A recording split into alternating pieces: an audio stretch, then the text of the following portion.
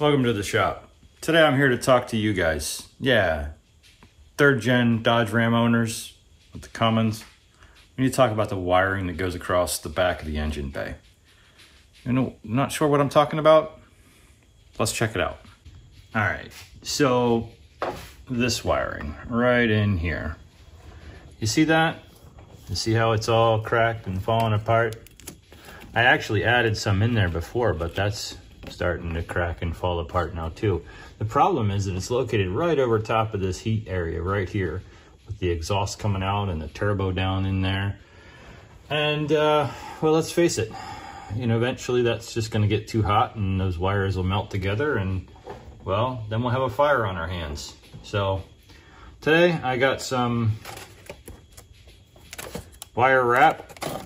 Well, that's a heat insulating blanket thing and some heat tape. And we're gonna maybe even use some of these little new wire ties here. But we're gonna take that sucker off the back firewall there, wrap it in something that's gonna protect it a little bit better, and then put it back together.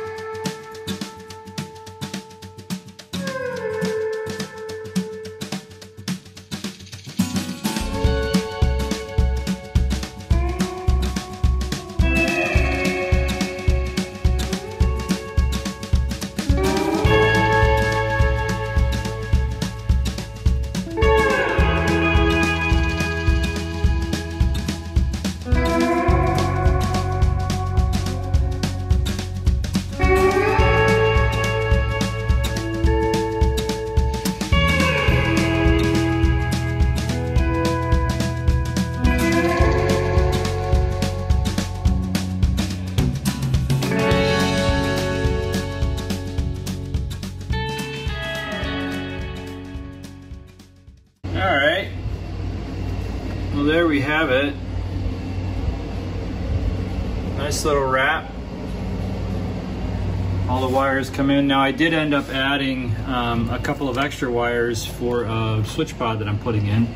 Um, so that's all wrapped up in there. And then I used some zip tie to the firewall, little pieces in there. And uh, much better. So this heat coming off of here isn't gonna affect those wires at all. And we're safe. Well, that is it for today. Thanks for stopping out. We're still working on other parts of this RAM, but that's all we're gonna put into this video. I hope you enjoyed it. I hope you found it was useful. And if you have a RAM like this, you should probably take care of that because eventually it's gonna come back to bite you.